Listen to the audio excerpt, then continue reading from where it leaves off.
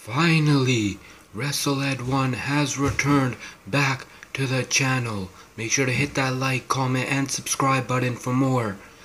Big Cass and Enzo are returning to WWE NXT. Yes, that's right. Big Cass and Enzo are returning to the home where they started off, WWE NXT.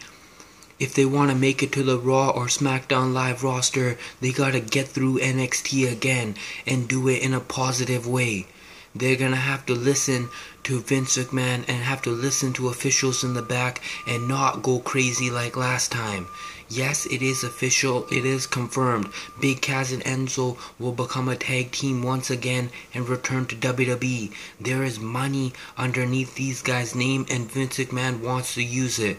The return is official. NXT look out. We got Big Cass and Enzo coming through. I guess the AEW contract and everything else with the other organizations didn't work out, but WWE is willing to forgive only if these two can stay humble. Yes, that's right, they gotta stay humble, and Big Cass has gotta finish matches. No more jacked up legs like Big Kevin Nash back in the day. Enzo Amore needs to stay sober. He needs to act humble and get through this. The superstars, how do they feel about this? Big Cass's ex, Carmella, maybe have something to say. We'll get that in another video. So make sure to like, comment, and subscribe for more news.